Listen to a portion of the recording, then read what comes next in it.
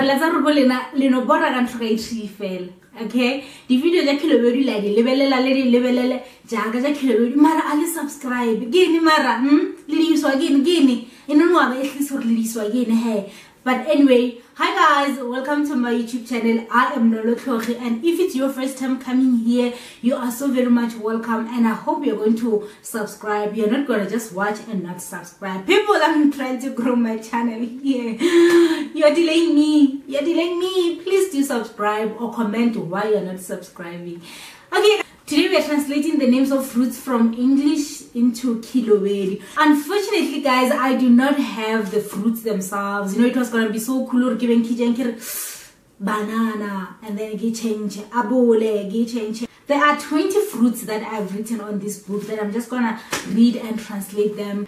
Apple, abole, orange, lenamune, pear, biere, banana, banana, grapes didiribe. Granadilla logorondrala. Mango mango. Guava lekwabosi the side of Lubedi that i come from a lot of guavas guys. A lot and lots of guavas. I ate guavas.